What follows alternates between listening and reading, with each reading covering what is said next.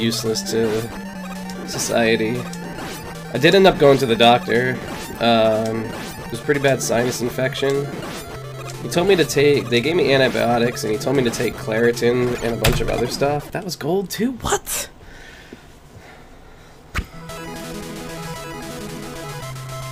What? Um,